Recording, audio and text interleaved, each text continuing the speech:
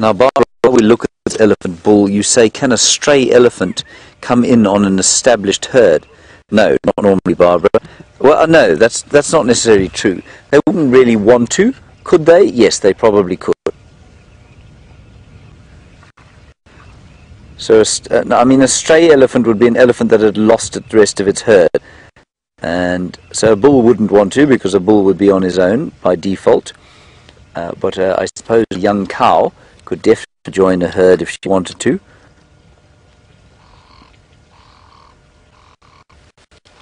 Wonderful stuff. And look who's coming.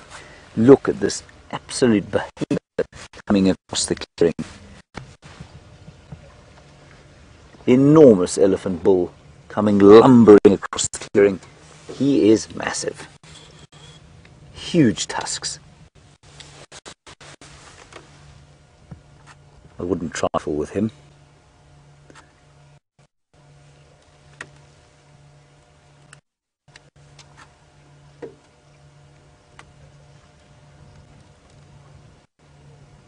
Hello, Mumsy in Cincinnati. Thank you for talking to us. You know, how much training does a father elephant give? How much, how important is his mentorship? Mentorship is very important, Mumsy. And you know, we don't know exactly, but we do know that in areas where elephants have been reintroduced and there have been no big mature bulls, often young bulls will go what we call rogue. And they become very difficult. Ones like the one behind there, they become quite difficult. And they kill rhino sometimes, they kill hippo, they kill other animals. And then if you import big bulls like that chap in front to kind of mentor them through the their, their passage into adulthood, you find that everything turns out okay. Isn't that beautiful? And there goes our friend. All the zebras.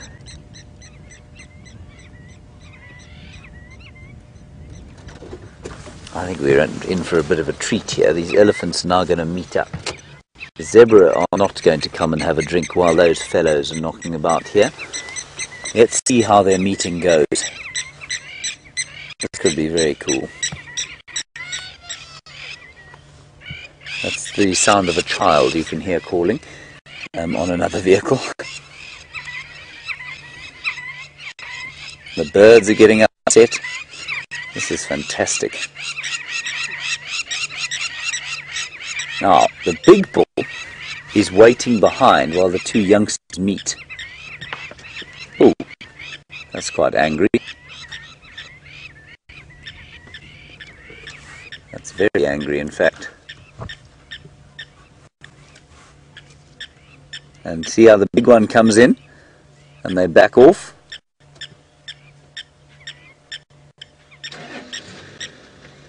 This is fantastic. This is just amazing. Isn't that great? So the young chap just had his drink and he's been told to clear off. Oh wow, this is too marvellous.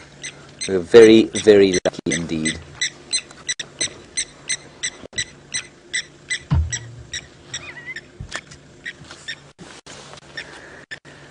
Alright, we will just um, just keep a, keep awake here because they might show their displeasure with us. I'm going to move back slightly, just so that they have space should they want to come down here, and so that I can drive off frontwards if I need to. How's that, Brian? That's fantastic. That is a immense, massive, massive, massive elephant, everyone. Oh, that's incredible. That is too wonderful. Hello, boy. I hate myself for saying that.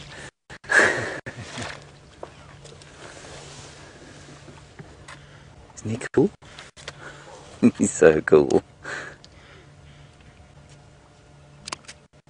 He's so huge.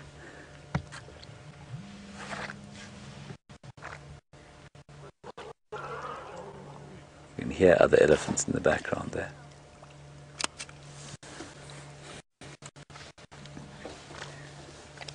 Right, he's quite an impressive fellow. So I would say he stands probably everybody about nine, maybe ten feet at the no, ten feet at the shoulder. I'd say he's probably thirty. He will get bigger. He will fill out even more than he is now.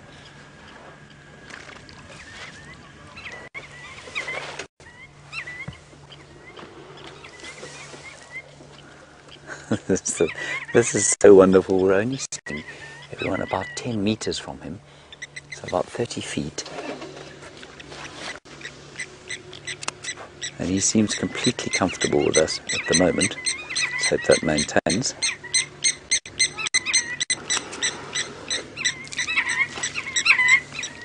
You can hear the, all the Senegal lapwings behind us.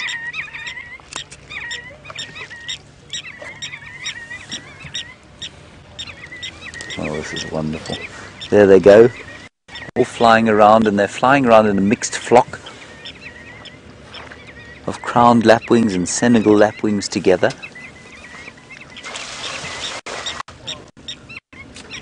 And this chap seems to be pretty chilled with us. it's really wonderful. And zebra all still there. They're definitely not going to come and try and have a drink now. They'll be much too nervous.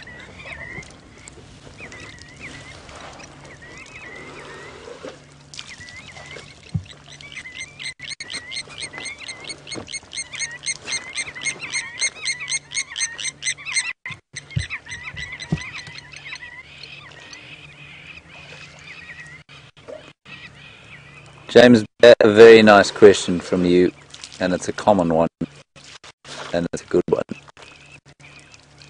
Is there some reason you beast of burden in the same way as his Asian cousin is? There are a few good reasons. The first one is that the African elephant, of course, evolved in Africa with human beings. They therefore have a much more natural fear of us, a much more um, kind of instinctual dislike of us, if you want, if you know what I mean, because we've been hunting them for as long as we have been standing on two legs. Now, if you try and tame them, they're more likely to try and sort of knock you down than are their Indian brethren. At the same time, they are also in need of much more food than Indian elephants. They have evolved in an area where the nutrients are poorer in the soil, so they have a digestive system that allows them to process a great deal more food, and they have to eat a lot more food than than their Indian counterparts. So that, combined with, uh, I suppose, a lack of need for them out here. I mean, I suppose they could have been used for transport, but um, they just never have been used for transport, except when Hannibal, of course, used them to go over the Alps to Carthage, at least from Carthage, interestingly. But those are the reasons. You can use them for beasts of burden. They are certainly used, in, and I know that there's a hugely controversial, you know, topic around riding African elephants. And certainly, there seems to be some very bad press about it, and its its goodness for the actual animal. But it can be done. So you can domesticate an African elephant, but I believe it's a lot more than domesticating its Asian cousin. You'd still be utterly astounded by his size.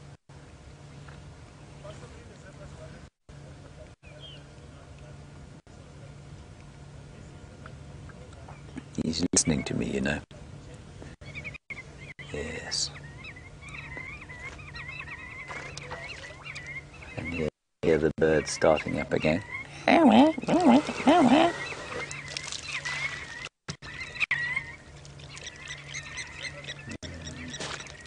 These wizened old eyes.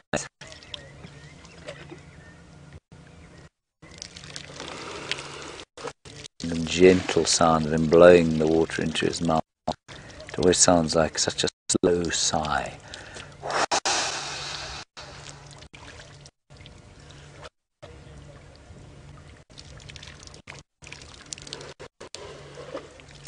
Isn't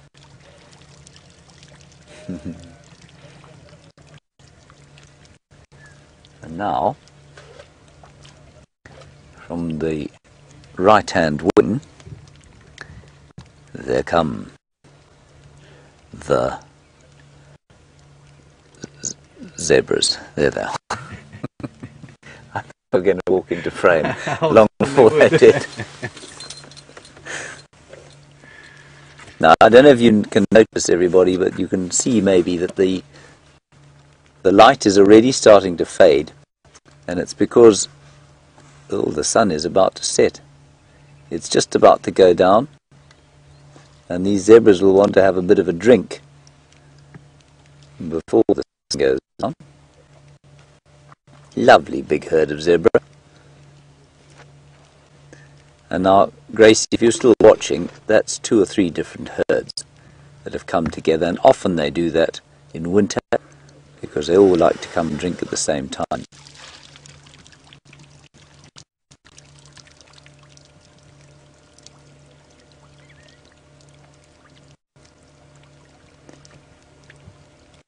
I'm sorry everybody about the pixelation. Apparently you can still hear me fine, but all you can probably see is a sort of Picasso-like artwork of what we're looking at now. So there's the elephant having a drink. That's what you're looking at at the moment. The zebras are coming around the outside, thinking about having a drink. There are doves, there are birds. It is the most exquisite evening here on Cheetah Plains.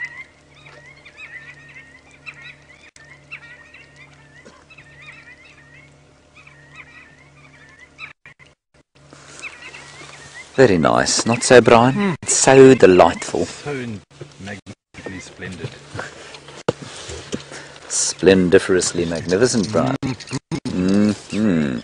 One slow mo shot with a cell phone. As one should. As one does. I'm sorry about that, everybody.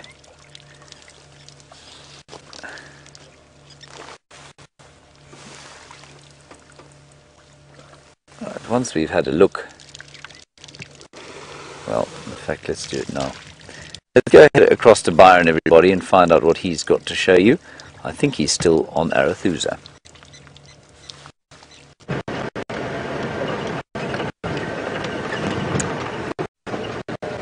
Isn't that fantastic, James? All those animals coming down to drink, and there was a lot of interaction. Incredible. It's always fantastic and wonderful to see different species in the same area. We have come back onto onto Djuma and we are driving around heading in the direction of Hook Dam. Hopefully we'll get something down at the water hole. Uh, the temperature has definitely dropped quite a bit since the since the sun has started to set. And there seems to be a calm and stillness in the bush at the moment. Not even much bird activity, which is interesting. I wonder, I think just before they, they all started calling later, the final calls for the afternoon, maybe it's just a little still patch that we've, we've hit. We are pitching and I'm still learning my way around and Viem's giving me some, some, some where to drive and what to look for.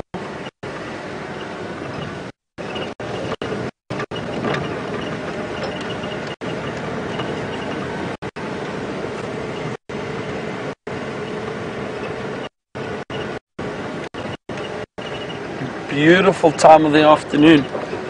Still this golden light. I think if I just stop through here, if you have a look in front of us, just this little view that we've got. Look at that color. We spoke about it earlier. Beautiful orange, yellow, green, light green. Just a fantastic, fantastic coloration that we are getting from this afternoon sunlight. It's beautiful. It's so so great to be able to to appreciate the, you know these these types of scenes and this the scenery that we are seeing or get to see every day. I really love it. It's so calming and so peaceful.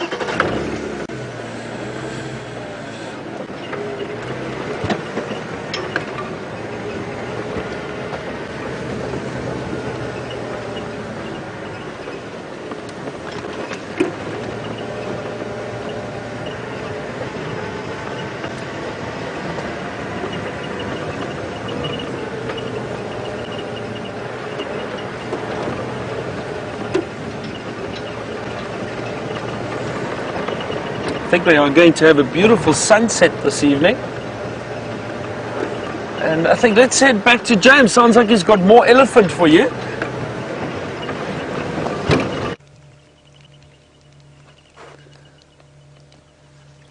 So this elephant is obviously very, very thirsty, everybody. He hasn't gone anywhere. He's still lurking right here, enjoying his drink. The sun is setting behind him. The zebras are much too scared to come and have a drink with him here. And we're just having a wonderful time. We're just Brian and I are sitting here marveling at the golden light, the zebras knocking about the place, the beautiful elephant in front of us, not more than 30 feet away. And he's just drinking quietly away. Very, very lucky. And you can just see, you can see that the light is now faded.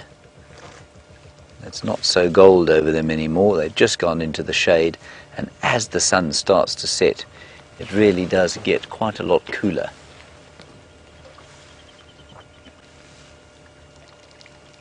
They will eventually be able to come down and have a drink, I'm sure.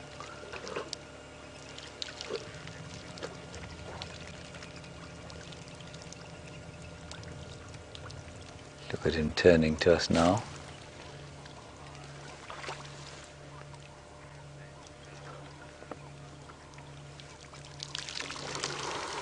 I'm just getting reports on my radio here of possible lions.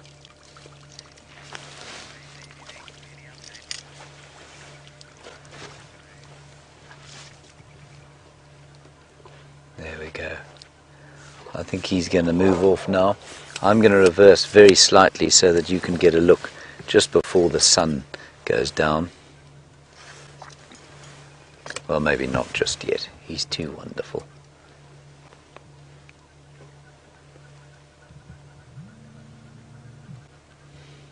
He's smelling us, just deciding if he's ready to move on or not.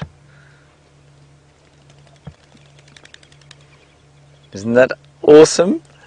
it's the most incredible shot. Look at the hairs, the dripping water, those unbelievable prehensile tips to his trunk.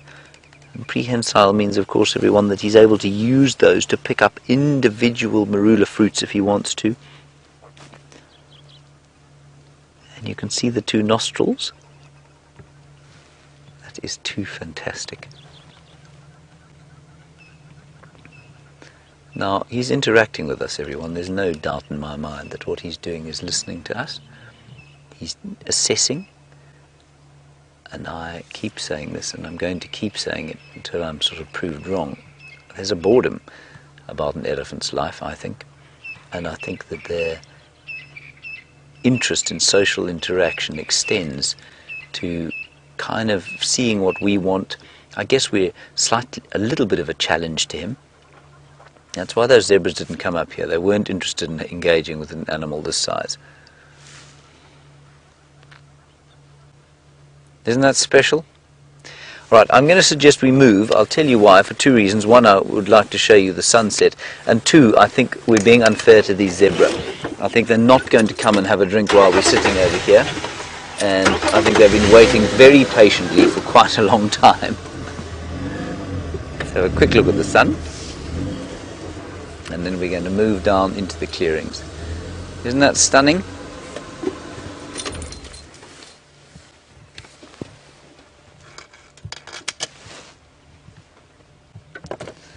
Hello, Cat and Tampa. You're wondering if the two stallions from these two or three different herds will have a fight with each other. Cat, I think you've only to watch them to see that no, they won't. And I don't mean that facetiously at all. They're clearly not engaging with each other, and that's simply because they're not trying to steal each other's wives.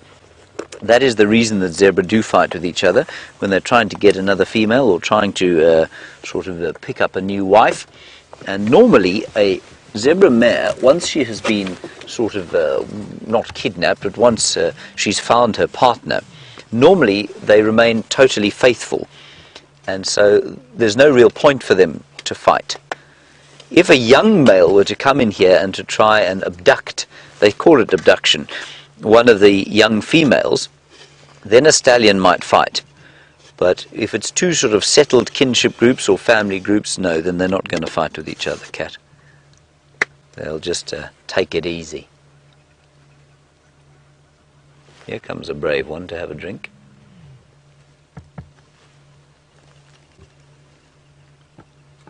Yeah.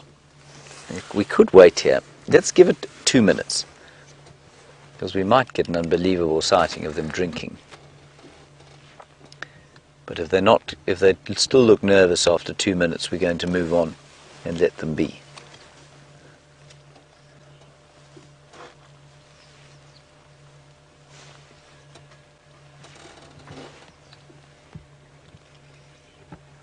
Well, there we go, Bethany. Bethany, you you make a very good point. You say when two zebras sit together, it's difficult to tell where one bit begins and the other ends. And you say, could that be an adaptation to making them look bigger for their predators? Bethany, not bigger, but yes, absolutely. I think what it does is make it difficult for their predators to tell where one starts and where one uh, ends. Look at the lovely reflection there. Isn't that special? Beautiful.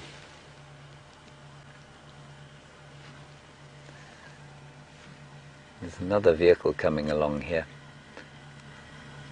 I'm so reticent to start the engine. I just think that they they've they're coming closer and closer and closer, and we're getting such a beautiful reflection there. And they're now watching another car coming. They must be thinking to themselves, when are we going to have the water to ourselves?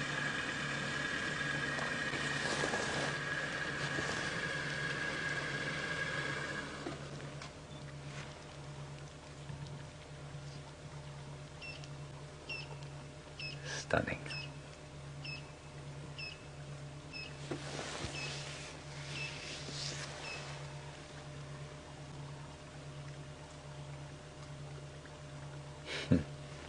All right, everyone, I think let's move on. I just don't, I think we're, we're stopping them from coming to drink. I don't think that's fair.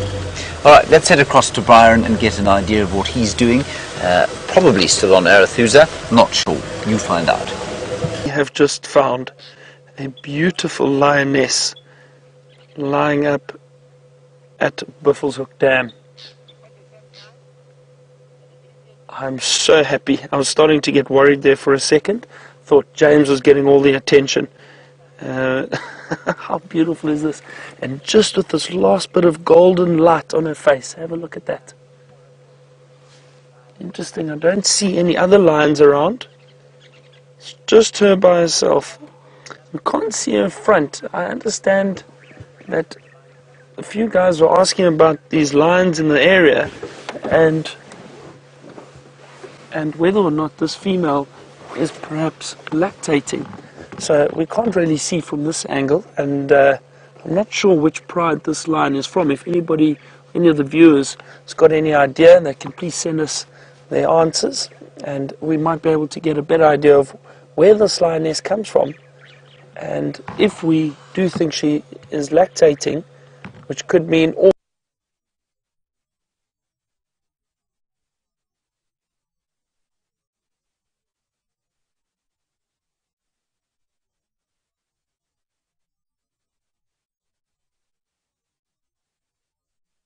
the line dynamics are.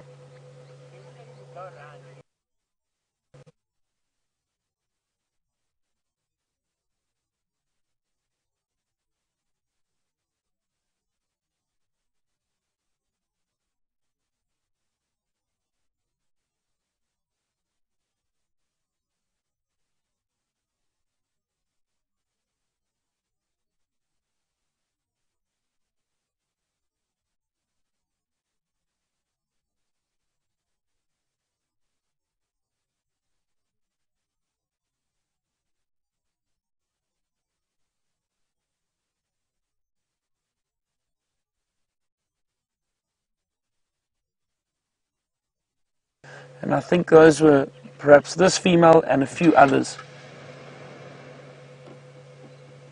It'll be interesting to try and find out. Ah, look at that.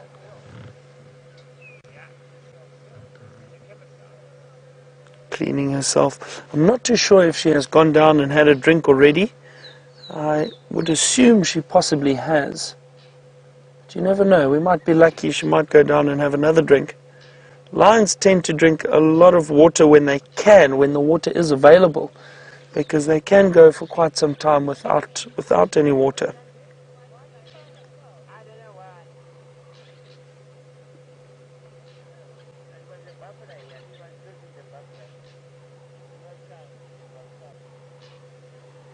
can see those beautiful black tips on those beautiful black tips on the on the ears you can see them clearly. And that's uh, those are all markings that have been put there for a reason and these lions have adapted to have those markings specifically for a few reasons. One of them is um, the, the theory is that it's a following mechanism. When these lionesses are walking through the through the long grass and they've got perhaps cubs or other lions following them, they can see the black tip of the tail or the black tip behind the ears, black tips, and they're able to follow each other that way. The um, other reason is when they are aggressive, they pin those ears forward and you see those black tips very clearly. So it's an aggressive sign.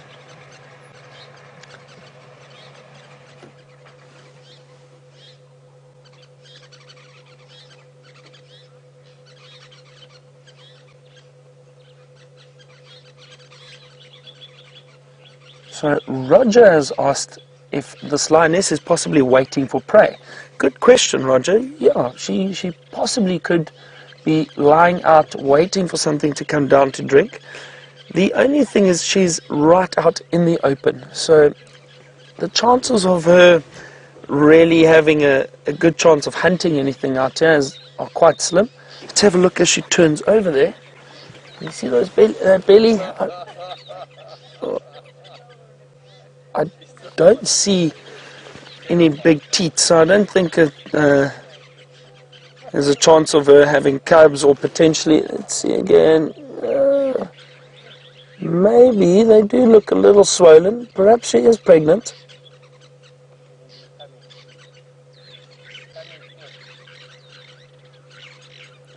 Okay, and I've just got an update, and I understand that the Nkuhumas were denning around this area. So this is possibly this lioness from the Nkuhuma Pride. So this is very exciting, really great. This is this is my first lion, I think. Yeah, my first lion that I've seen on Safari Live, uh, or while I've been here. So this is very exciting for me. It's always nice to see these new animals. You don't know where they come from, and you know you get to learn the story. And I'll probably sit with James tonight and find out a bit more information about them so lucky to be able to see her out in the open.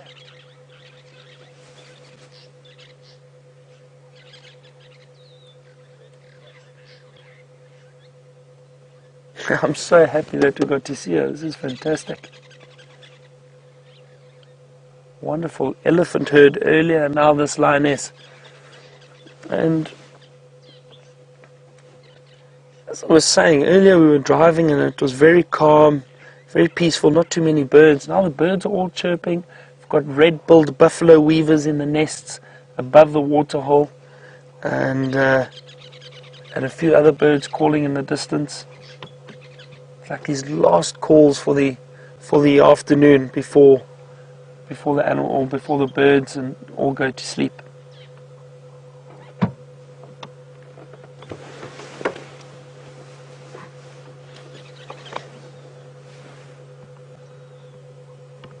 Can see that beautiful torchwood tree in the right hand side of the picture. As VM zooms in a little bit closer, see those big nests on the left hand side of the tree. Those are the red-billed buffalo weaver nests. You can hear the birds chirping loudly from there. They, uh, they are very social birds, so community nesting birds. There'll be a number of pairs all within that nest. A really, really great scene here.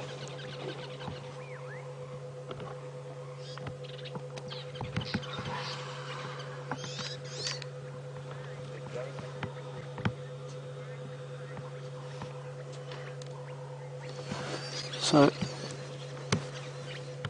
Joey in Australia has just asked what one of my most memorable lion sightings have been. Um, I've got I've got one or two, Joey, and one of them I'll never forget when I started guiding. I we had tracked and found uh, a pride of lions, and there were two big dominant males with these lions.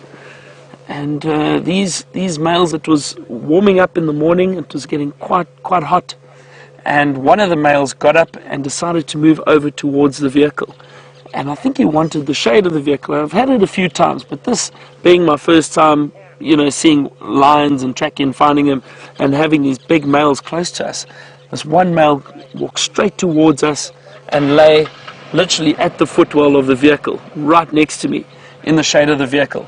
Uh, the I must admit I got quite nervous, and the tracker I was with at the time had a good chuckle to himself. One of the vehicles passing us uh, quickly.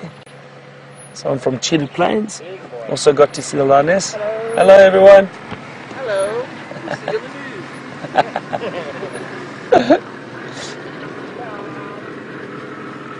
what I will do is see if we can get a, another position, maybe on the other side of this lioness, and see if we can get a nice view of her face. Her lying down and then the water off behind her. So Joey, yeah, so that was one of the, uh, more memorable lion sightings. And recently I was fortunate enough to see some lionesses hunting buffalo in a riverbed. And they chased the buffalo bull, jumped on his back, and three lionesses were jumping on this buffalo and trying to pull him down. But he was a big, strong bull, and he managed to shake two of them off. And with the last one hanging on, he actually ran into the river. And the last lioness let go, and he ran straight through out onto the other side, joined the herd and ran off. They're incredibly tough animals, very, very powerful. So that was another very memorable lion sighting. Let me see if I can reposition for us quickly. Keep an eye on this lioness so long. I'm just going to drive around. See if we can get a nice view from the other side.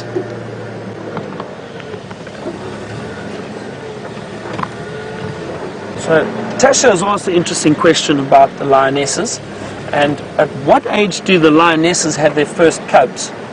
So Tasha, I have seen lionesses start mating from about two and a half, three years old. And if they are lucky, they will probably fall pregnant at the age of about three, three and a half. Just going to go up onto the dam wall and we'll come back around and view her from, from that side.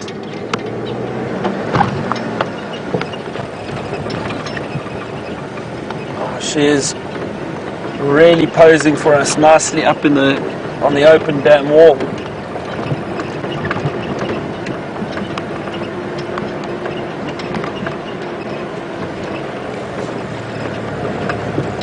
Uh, and we have a hippo in the dam one that I think you are all used to seeing. Not sure where the other one is, the young, younger, younger hippo. I'm sure it's in there somewhere.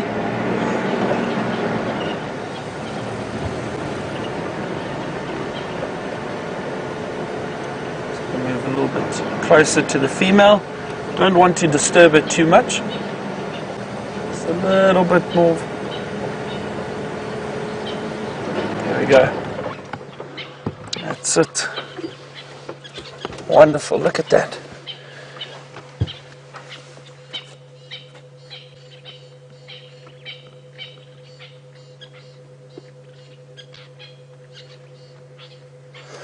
This morning, when we had Mvula, that big male leopard, or that old male leopard, uh, there was a question about the size of his tracks compared to a lioness, lioness's paws. And have a look at the size of the paws on that lioness. They are very, very big. Much, much larger than a male leopard. Uh, and not not nearly as big as a male lion, but uh, but the lioness's tracks are larger than her leopards, or male leopard at least.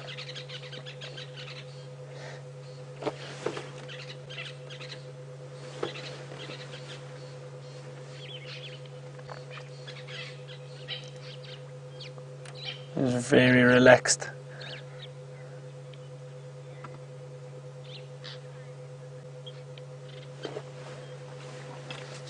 So Cecilia in the UK has asked if this lioness, or if it looks like this lioness has eaten recently.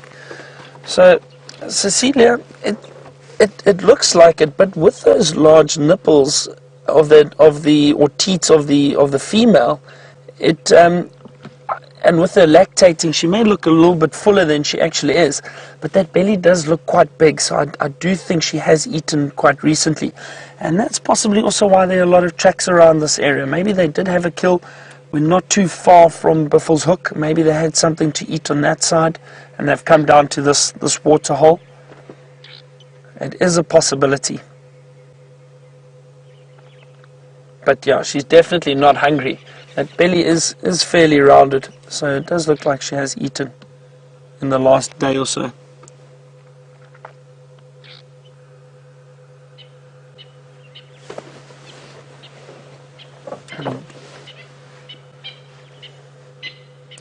And again with this beautiful cool temperature now, I think that is why she decided to come out earlier. Come out to the waterhole, probably went and had a drink already and then came and lay up on the dam wall not hot. She doesn't have to lie in the shade. It's a perfect spot for her. In case something does come down to drink, she can maybe have a look and try her luck. But she is quite exposed here, so I don't think she would have any luck. You know, anything, and we spoke about it yesterday too, anything that comes down to water to drink, they are very alert, very aware, because they know when they put their heads down to drink, they are a little bit more vulnerable. So they're very careful, very cautious, just to make sure there are no predators around.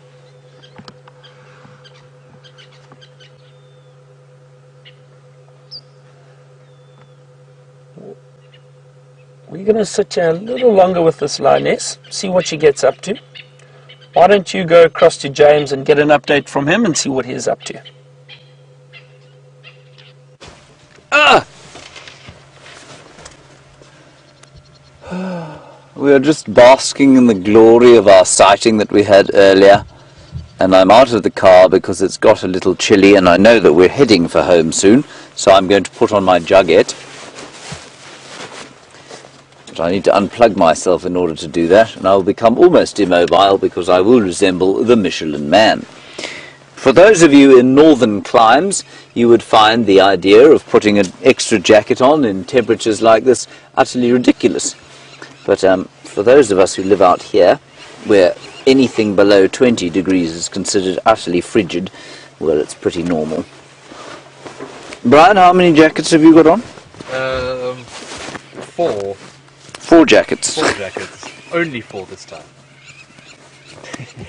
it's probably 15 degrees or 16, so it's really not cold yet. It's the wind. The it's the wind, it's a brutal wind. A brutal, a brutal, brutal howling gale that we're experiencing here.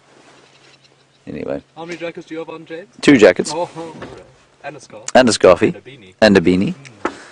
And a blankie for my leggies. My little chicken leggies. Right, I feel very comfortable now, Brian. I might pop. Go one more turn past. Here.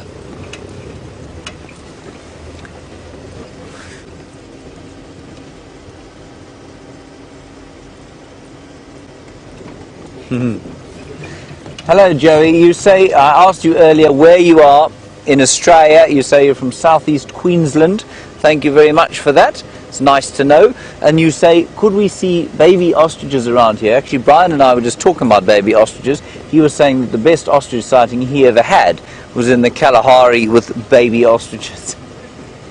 a male and a female, how many babies? Uh, Twelve little chickens, so big. Twelve little ones the size of a francolin. Um, so they are around. Uh, here, yeah, it's possible. We've seen a male and a female. We've seen them doing a bit of a courtship dance, so it's quite possible that they might come together at some stage. Um, and maybe they will produce little babies around here. I mean, they have to have got here somehow. It's unlikely, but simply because we don't see them very often. But it's not impossible at all. So, Joey, in southeast Queensland, are you? I mean, I'm imagining you're about 10 hours in front of us. Could it be that much? Must be about 8 or 10 hours in front of us. Right, let's go up through here. 10 hours. That is a long time. So it is now. Gosh, it's very late tomorrow actually. Early tomorrow, sorry, in Queensland. And you're only 14 years old. Grief, you have some very uh, lenient parents allow you to be up at this time of the day. No, nothing else happening at the pan. I just thought we'd do one quick loop around here and see if anything had uh, exploded out of the bushes, perhaps to eat those zebra, but nothing has. So we'll make our way gently and slowly back towards the west.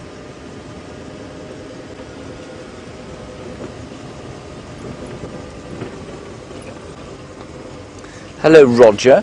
Roger, you want to know about crocodiles, and you say in the rainy season are the crocodiles, or is the water ever get high enough for the crocodiles to be in? Not really in these areas. You might find a crocodile once or twice in Buffelshoek Dam, where Byron is sitting with that lion, um, when it gets full. But crocodiles tend to be fairly transient in areas like this. They like permanent water in a river. So they don't really like to live in dams. They will live in dams if they have to. At the reserve I used to work called Ngala, which is about 15 kilometers to the north of us, there used to be a um, there used to be a pair of crocodiles that lived in an enormous dam there, but only that pair. There were never more than the two of them there. But that's not to say that they wouldn't come past. So I've often said this, I would never swim in something like Buffelshoek Dam, no matter how many times I'd been there and never seen a crocodile, because crocodiles can often just come into an area for a couple of days and then leave and you don't see them lurking below the surface of the water. And of course, to be attacked by a crocodile, I imagine, is a fate uh, that couldn't really be matched by too many other horrible fates. So they can be around, but it's unlikely that we'll see them up here. Definitely if you go down towards the Sand River. Right, let's go back to Buffelshoek Dam. The lion, I think, is asleep.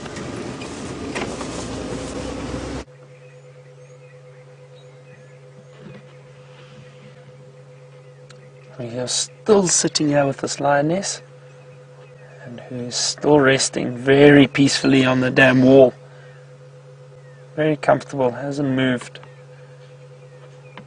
Viam and I were just chatting, and we think there's definitely, well, there should be, and from the tracks we had this morning and yesterday, there should be at least two other lions in this area somewhere. So we're waiting, hopefully they might come out a little bit later. No ostriches here either, James. I know James was, was chatting about ostriches. Um, none in this area that I've seen.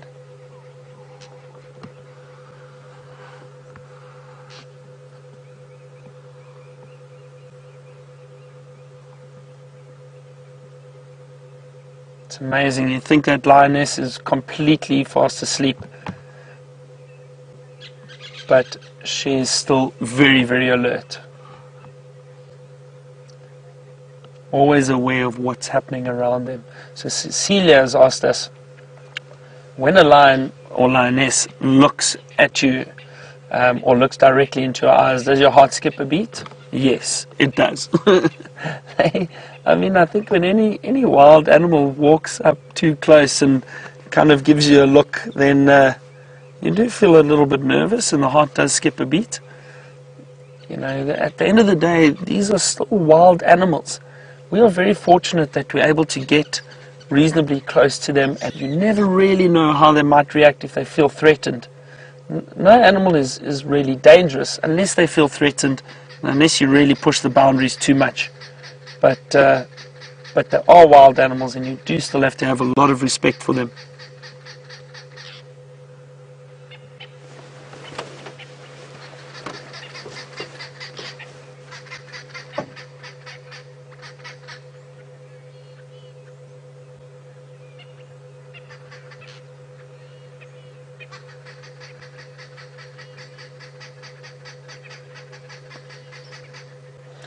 So Darlene from New Hampshire has asked a question about a pride of lions which are generally found um, in this kind of well south of here. Um, they they came from Londolozi. I'm not too sure when Darlene actually saw those lions. Uh, called it's a Tsalala pride, and Darlene was saying that this Tsalala lioness gave birth to three cubs, but she has raised them or has kept them close to the pride and been moving them around with the pride. Now, Darlene wants to know is that unusual or, or how does that, or why does that occur? I think, Darlene, what often happens, and I'm not too sure what age those cubs are at the moment, but lionesses, when they do give birth, they do move off away from the pride, and I'm sure that lioness did too. She, um, she most likely found a den site, an area where she could hide the cubs, give birth to them. They are completely vulnerable when they are born. So the first two months, those cubs will be hidden in a den site, at least. And then what happens is once they reach two and a half to three months, she will bring them out and introduce them to the pride. The reason for that is she wants the rest of the pride to get used to the cubs, and she will then allow them to stay around with the pride from then on. What will happen though is when the adult lionesses go off to hunt, they will hide the cubs in a thicket somewhere or in a safe area, and then they will then return, call the cubs, and take them to where that kill is so that they may also start feeding on some meat. So I think that's possibly what has happened there, Darlene. I don't think she would have given birth to them out in the open and had them with the pride from the beginning. Probably waited two months or so, and then she would have introduced them to the pride, which is very natural behavior for lions.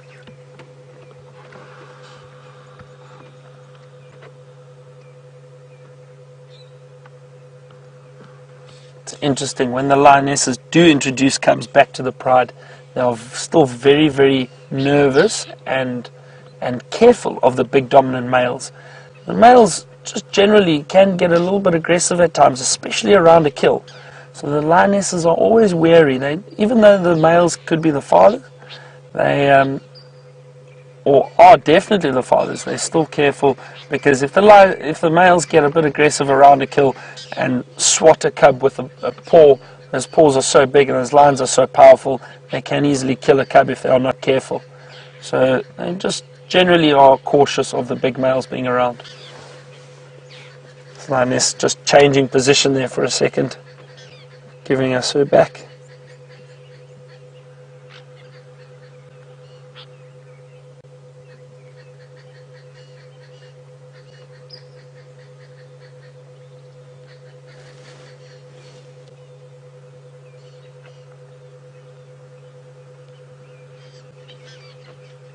See a grey heron has just taken off from a tree behind us moving moving directly behind us. I don't think we'll see it but probably a heron that frequents this waterhole or this dam. Trace this waterhole. The hippo hasn't moved. Still in there relaxing. Might leave the waterhole a little bit later this evening to go and feed. I'm almost certain it will. And hippo can cover quite a distance when they are looking for food up to five or ten kilometers in an evening if they have to. And uh, there you see it's still lying in the water. Especially now in these dry, dry, drier times or drier conditions, they will have to cover a much larger distance to go and look for substantial grass to feed on.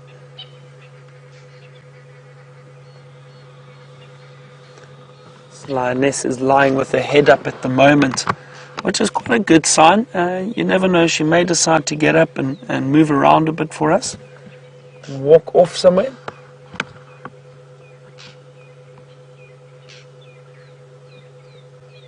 Or put her head back down and rest some more.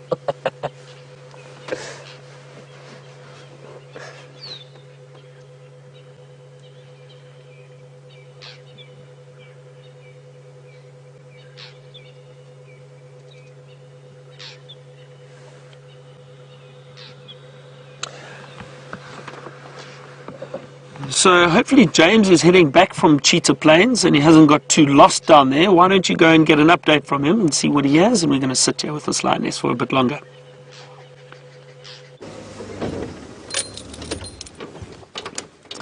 Hello, everybody. Uh, we haven't found anything alive, but we have found something dead, and of course, I'm very homesick for my little tenty on quarantine clearings. There's a bone over there, and it looks quite interesting. I'm just going to go and get it and see if I can identify what it is. Brian, you'll tell me if you see a lion coming bounding out of the bushes towards me, won't you? Thank you.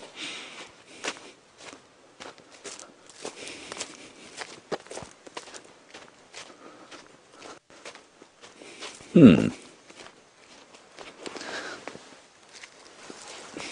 Now, this is not an insubstantially heavy piece of bone. That was a stump over which I tripped. Now, no, I don't know. I'm, I'm actually quite bad at this. Uh, this is from a giraffe, I'm going to guess. And I'm going to say that it is. I think that's the knee. What do you think, Brian? I think that's the knee joint, and I think this is probably therefore the humerus, the front. Not the knee joint, it would have been. You see, this is where I get so deeply confused. If it's the front, everybody, I think this is the bit that goes down to the um, down to the wrist joint, so it would be the radius and the ulna, and that would make sense because that then would be the radius, and that would be the ulna. So you've got two bones in your forearm, the radius and the ulna. The thick one going to your thumb is the ulna, and the radius goes around towards your baby finger. And I think that's what this is, the equivalent of. There we are. And in the absence of a better idea of the anatomy of giraffe, I'm going to say that's what it is. I've become rather fascinated with which bones are which and their um, sort of equivalence on our bodies and the bodies of all other mammals. 270 bones apparently in the human body. And it's actually not that difficult to learn them all because you've got two of most of them, so you can divide that in half already. So half of 270, Brian, is of course 135. And then in some cases you've got, you, can sort of extract the eight or nine bones of the skull, so it's not so many there, you've got about 120. Then you've got five sort of odd little bones in your wrists and five odd little bones in your feet, so that takes another 10 out. And so we sit at about, well, I don't know, let's say 110 or so.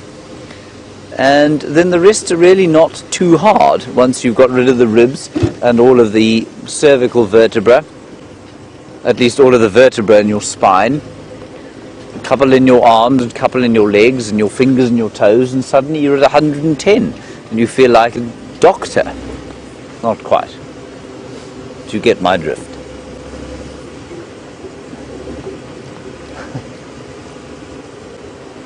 Oh, Tony. Tony, thank you for reminding us. Remember, we Brian, is now giggling. We did a we, we found a skeleton of the nyala that the lions had been eating. We called him Nigel, the nyala. And uh, Tony, you want to know what happened to him? I was trying to prepare him for our TV show, and by prepare him, I put him in a box full of flesh-eating beetles. And by the time the TV show came around, Tony, um, they had done a very poor job of cleaning him. And I, we had collected so many other bones that I thought, should I take it to Nigel with a scrubbing brush, uh, some rubber gloves, and a sort of healthy dose of smelling salts, or just use what we have? And I decided on the latter. And I've left Nigel in the box full of flesh-eating beetles, and I hope that in the next month or so they will complete eating him. And then Nigel will make a return to the screen. Brian, have you, you haven't posted your video yet. Brian put a, um, we did a, I don't know if any, how many of you were watching, but when I, I picked up this, this, oh, hello beefies, some beefies next to us. We'll just have a quick say hi to them. They don't like the light, they get very nervous. So we'll leave them there. It's much lighter on your screen than it is in reality, everyone. So I'm just going to drive past them. We've got the big bright lights on the side of the car. So we had this Nyala, and before we came live with it, I was holding it and Brian was say, and I was swinging it around. And then I was kind of doing a bit of a dance with it and its mouth was flapping up and down like this and it looks like it looks totally disembodied and you can you don't even notice my hand. So Brian filmed this thing and he's put it to music. And it looks like the Nyala's carcass is kind of dancing to the music. It's the most astoundingly morbidly hilarious thing you'll ever see. So I'll try and persuade Brian to to to, to post it. Maybe you have to be there. Right, if we do lose you now, it's because we're leaving Cheetah Plains, but we should be alright for now. All I got was a beep there. Brian, did you hear anything? Just a beep. She beeping at us. You never know, everybody. You don't want to miss a communication. She's a terrifying woman. She's got red hair, you know. Lack of soul, no soul.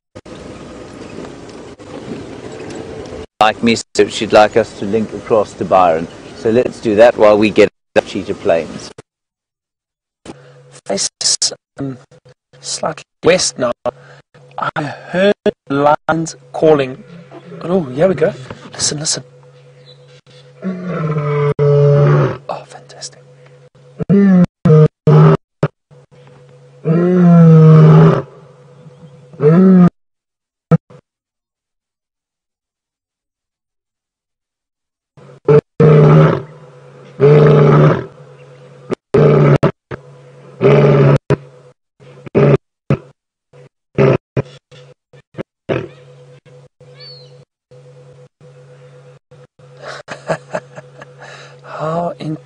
Incredible was that? As I was saying, there were lions calling in the distance, very faint call, but she picked up her head. She could hear it very clearly. She was obviously just returning a call. Not sure if it's part of her pride. Lionesses will also communicate and roar for territorial purposes, just like males do. Um, so this is what an incredible sound. Probably the most amazing sound you can hear in the bush if you are close to a lion. Very deep roar, and it echoed across this dam which we are sitting at at the moment. Such a great sound. Beautiful, pinkish, pinkish, reddish, orangey color in the sky at the moment in the background with the sun, sun that has gone down. Look at that. What a scene. A lion roar, it does not get better than this. Wasn't that incredible? I understand James was showing you a bone that he found. I didn't think uh, or realize he took up archaeology. This is very interesting. Fossils? I'll have to ask him about that later.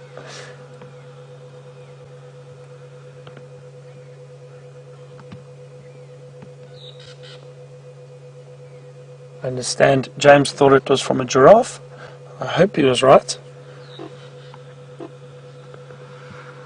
We'll sit here for a few more minutes, just watch this and she's picked up her head. Uh, and it is such a beautiful scene. Let's wait to see if she does move. Maybe we're lucky and we get another if there's a call from the distance again. You don't know.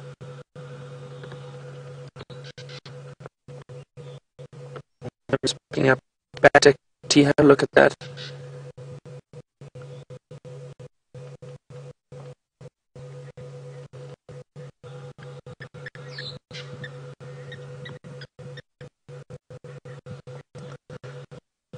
The lion and the lioness. I would like to have nest uh, like house cats do. Tash do not. Lions do not purr. The only cat which purrs a house cat or similar to a house cat is a cheetah, in fact. That is the only big cat which purrs. The voice box and that of the of the lion and of the leopard, they do not purr. They give this very deep roar which we just heard. So, but interesting question. Oh, there's a yawn, a beautiful yawn. Oh, another sound. I think that was just her breathing out. Another good yawn and stretch. There we go.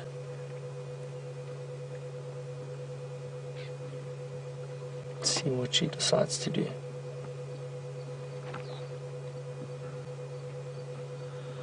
All right, everybody, sit still. She may walk right past us.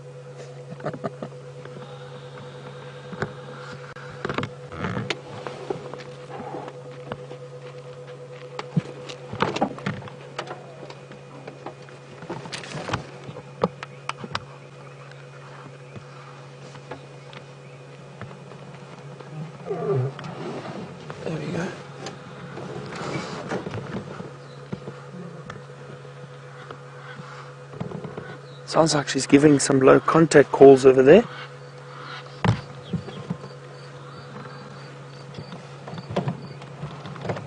Yeah, there's another line calling um, kind of southwest of where we are. And there she goes again.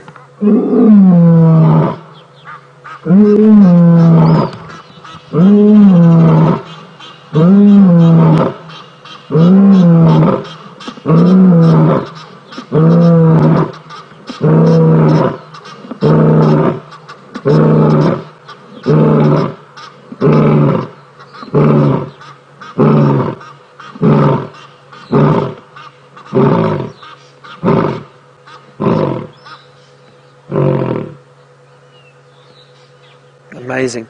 Do you see how those muscles in her in her back tense up while she's roaring? They give they put so much effort into it. Um, it's incredible how far that sound can travel. Those other lines we heard sounded a lot closer. They seem to be heading in this direction. Possibly, and I'm almost certain they're communicating with each other, me, might be the rest of the pride, and maybe we're lucky and we get them meeting up. Let's see where this lioness is going. Just going to have a look quickly. Let's reverse.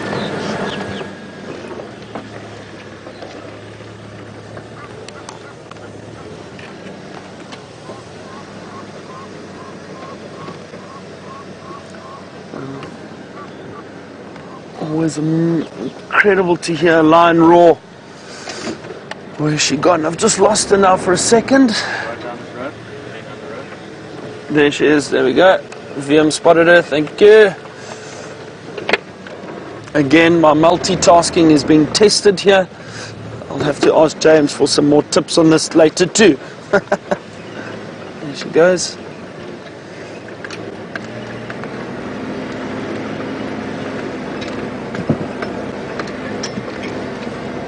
Seems to be heading in the opposite direction from those other calls that we heard. But then again, these lines, or lines in general, their communication is so much better than than ours, and they're, they're roaring. They definitely know how to pick each other up and which direction the calling is coming from. They're so accurate with, with pinpointing where the sound is coming from.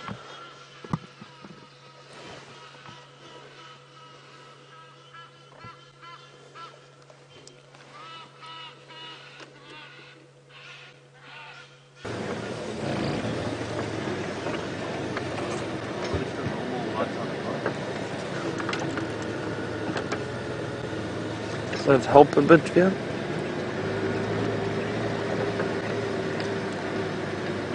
Getting a quick lesson on lighting here while we're following this beautiful lioness.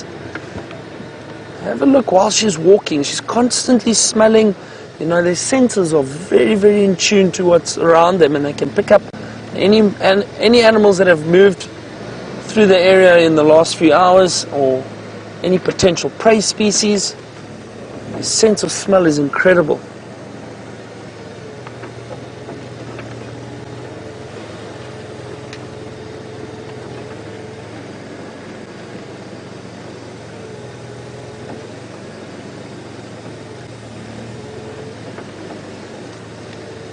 Oh, that roar was really, really phenomenal to hear. And I've been fortunate in the past, I've managed to see four big male lions, dominant male lions, lying in front of us and all roaring at the same time. That is an incredible sound. The male lion roar is a little bit longer, a little bit deeper than the females, but if you often uh, quite far from them, you've got to listen very carefully. It's not always easy to tell the difference. They do sound very different. I mean, very similar, and um, and at a distance, it's hard to tell the difference.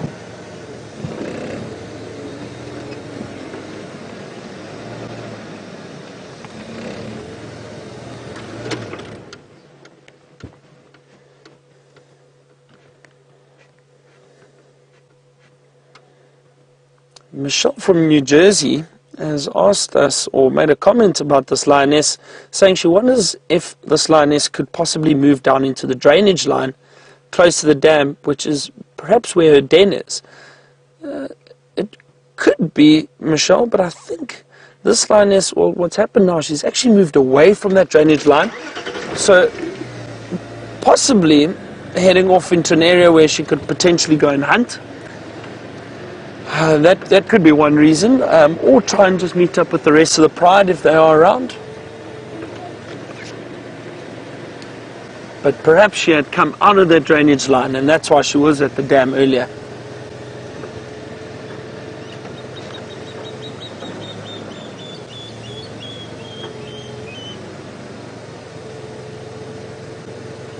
Amazing to be able to follow an animal like this. Don't want to get too close so that we don't disturb her. Just give her a bit of space. You can see she's not too phased by us. When these animals, if they do look like a like lion or leopard, doesn't matter what predator you're following. But if they do look like they are showing interest in potentially hunting some prey, we definitely back off, leave the lights off so that we don't disturb them or give their position away to the potential prey that they're trying to hunt. You know, as, as guides in this industry and showing people around and showing them the wilderness, we try and be as sensitive as possible and we try not to interfere at all with the natural um, behavior of these predators or of any animal for that matter. We don't want to give one or the other an advantage.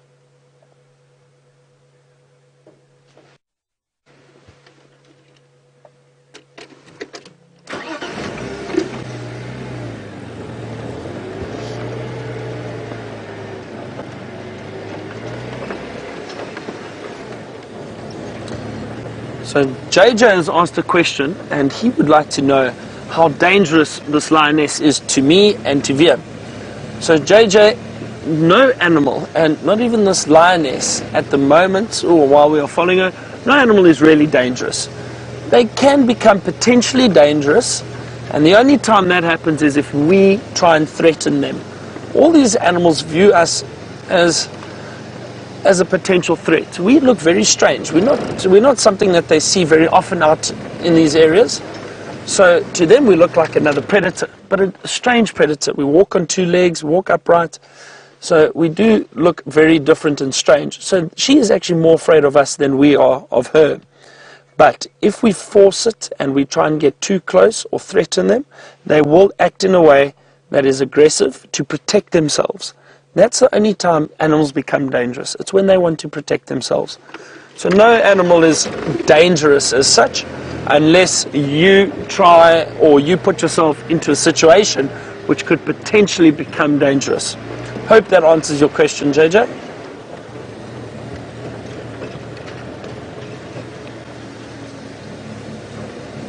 I just love this. This is fantastic. Being able to follow a lioness along a road, just myself and VM and the thousands of viewers around the world with us. it's incredible. Really, really incredible.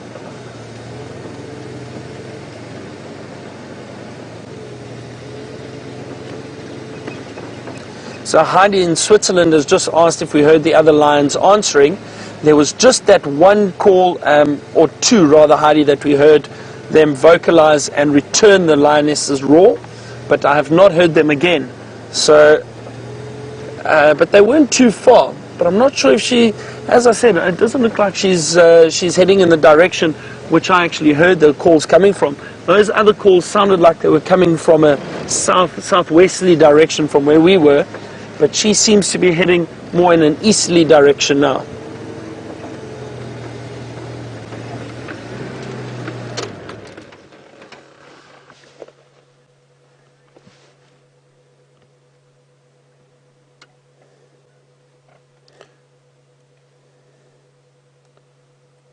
So Juliet has asked a question about the lion's roar, and she would like to know if there is a pattern to the roar, or do they just roar?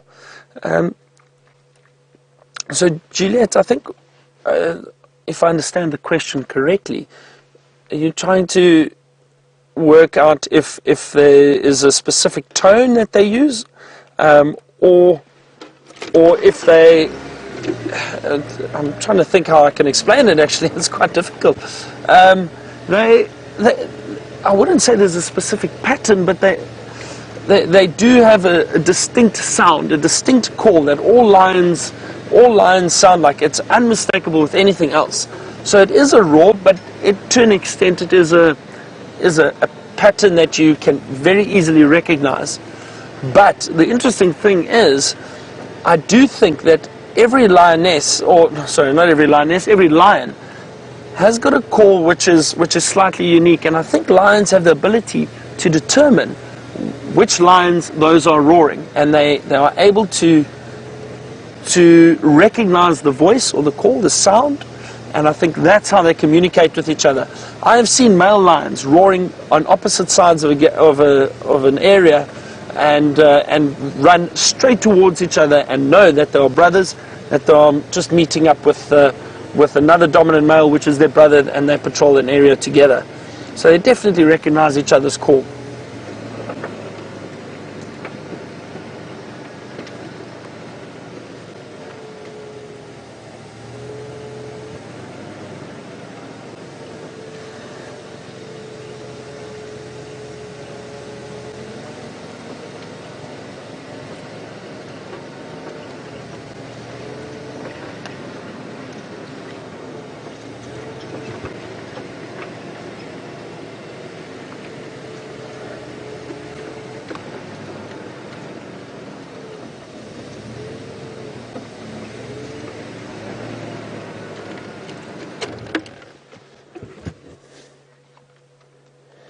So, Marianne from Arkansas, I agree with you completely. It would be wonderful to see this lioness meeting up with the, the sister, her sisters or the, or the rest of the pride. That really would be amazing to see. You never know, we could be lucky and we might see it. She's just drifting off through that thicket there now. Off the road. Again, they are able to pinpoint the sound of where the other lions are calling from. It's incredible how they can do it. Um, with a bit of experience, you tend to get a bit better at, pinpointing where the direction of lions come from, or where the lion's call comes from, but it's not always very easy. I'm just trying to see if we can find a gap through here. It's a bit thick there. See, the road still continues along. We can still follow from this side.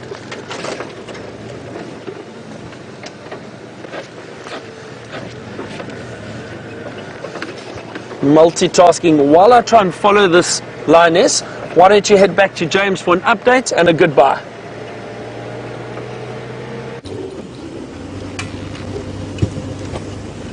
Nothing much to update everybody. We've come back from Cheetah Plains. We're on Djuma. It's been very pleasant indeed. What a drive we've had.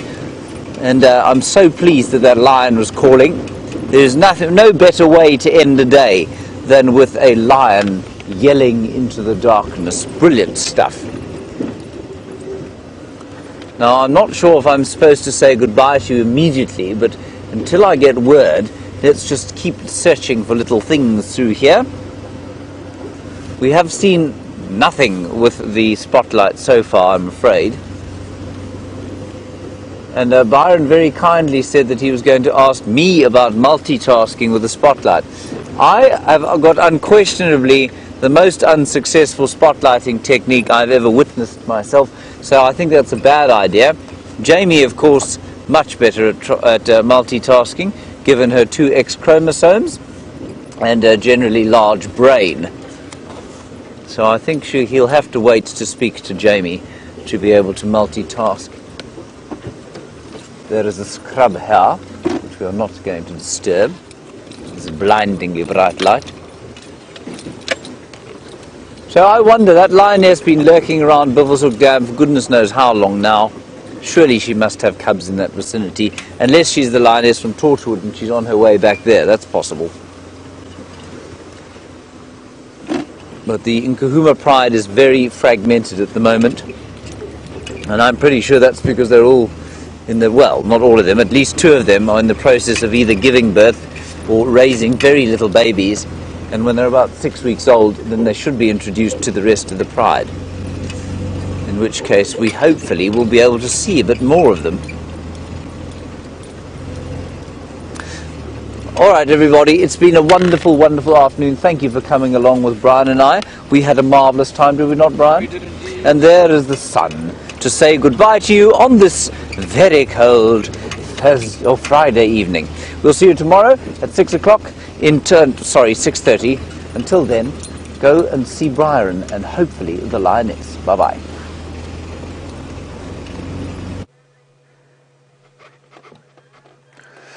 Right, everyone. So that lioness has just moved off through a thick area. We're unable to follow her any further. Maybe she's lucky and she meets up with the rest of the pride this evening. I'm sure they will at some stage. And we'll try again in the morning. Come back into this area and see if we can't find maybe they're out at the waterhole again or somewhere else close by. It's been a fantastic afternoon. Elephant, we had uh, we had James the leopard and the zebra and this beautiful lioness at the end. Really, really great day. It's been incredible. Hope you've all enjoyed it. Thank you to Veer with me this this afternoon. It was great. Hope you enjoyed it too, Veer. And uh, thank you to the ladies in the FC. Uh, always a great help having you support us. And thank you to the viewers, especially. I hope you've enjoyed it as much as I have. It's been great having all your questions, and hopefully, you've learnt a little bit along the way. Don't forget to join us tomorrow morning. It will be great to have you on Drive with us again. And uh, thank you to James and Brian on the other vehicle. It's always great to be able to relay between James and myself. Have a wonderful evening, and we will catch you tomorrow morning. Good night, everybody, and thank you again.